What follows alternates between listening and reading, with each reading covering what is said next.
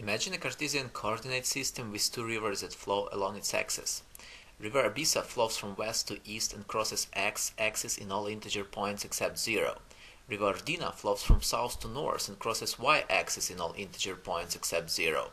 Both rivers are endless and continuous, but the most amazing thing about them is that they never cross each other. How is this possible?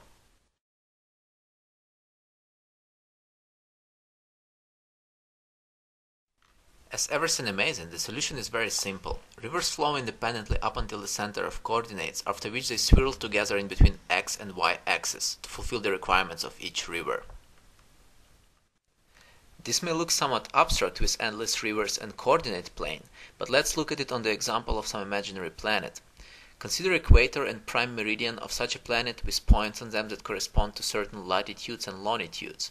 River Equa flows along equator and crosses all longitude points except for that of intersection with prime meridian. Similarly, River Prima flows along prime meridian and crosses points of intersection with all latitudes except for that of equator. As before, the rivers never cross each other, are continuous and circular, which means that it is possible to make a boat tour around the planet by starting and finishing at the same point. How is that possible?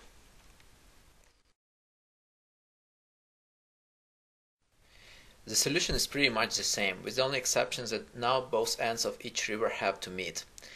It turns out that this extra requirement is not difficult to fulfill.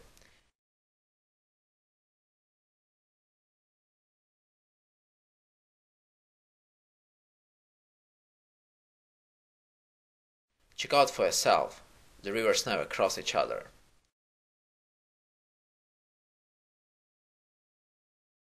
It is amazing, but it is possible to do this trick for an arbitrary number of parallels and meridians. Here we will just present a solution for the case of 3. Enjoy it.